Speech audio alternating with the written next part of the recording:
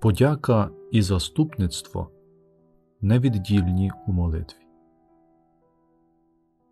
Роздуми над Божим Словом на четвер 22 звичайного тижня.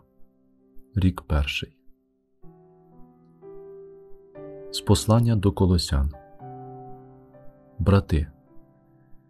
Від того дня, коли це почули, не перестаємо за вас молитися і просити, щоб ви сповнилися пізнанням Його волі в усякій мудрості й духовному розумінні, щоб ви поводилися гідно Господа, аби догодити Йому в усьому, приносити плід кожною доброю справою та зростати в пізнанні Бога, зміцнюючись усякою силою, за могутністю Його слави для всякої витривалості та терпеливості. З радістю дякуємо Отцеві, який знайшов нас гідними частки у спадщині святих у світлі. Він визволив нас від влади темряви та переніс до царства свого улюбленого Сина, в якому маємо викуплення Його кров'ю, прощення гріхів. Ймовірно, Павло ніколи не відвідував колосів, прибережного містечка на території сучасної Туреччини, і не був особисто знайомий зі спільнотою вірян.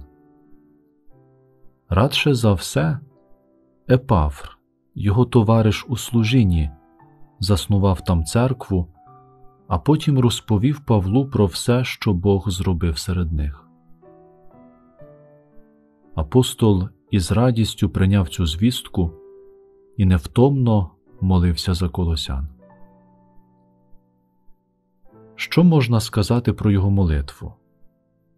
По-перше, він дякував за те, що Бог допоміг заснувати спільноту церкви та за все те, що він уже зробив у ній. По-друге, Павло молився, щоб християни у колосах завжди були відкритими на Божу дію у своєму житті. Але ці молитви подяки та заступництва так переплітаються, що важко їх відділити. З цієї нагоди варто згадати іншого молільника Юліану Норічську, Юліану з Норвіча, яка у книзі Откровення Божественної любові поєднала подяку із заступництвом. Юліана народилася у Великій Британії близько 1342 року. Її відділяли від Павла багато років і кілометрів.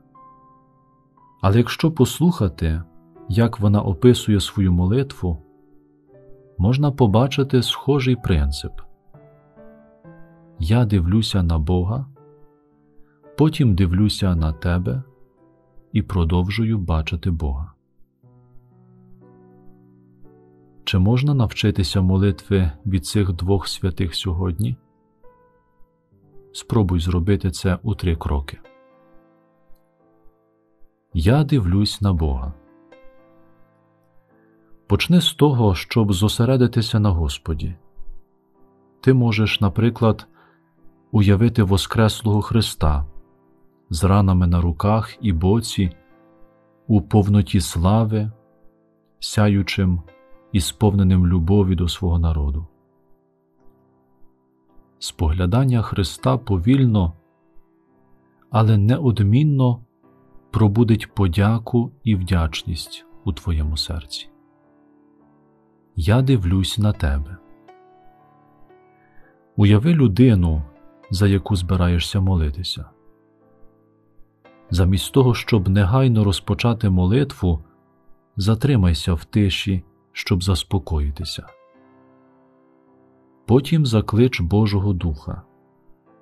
Він дасть тобі змогу подивитися у правильному світлі на людину чи ситуацію, за яку молишся.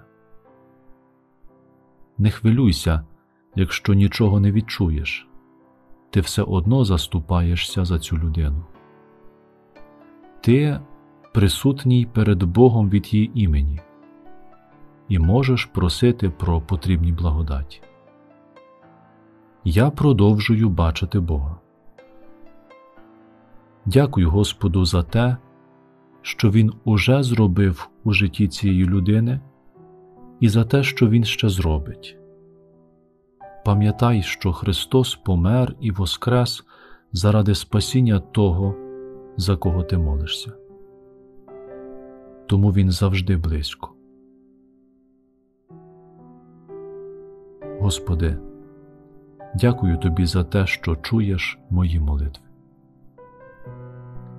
Слава Отцю і Сину, і Святому Духу, і нині, і повсякчас, і на віки вічні. Амінь.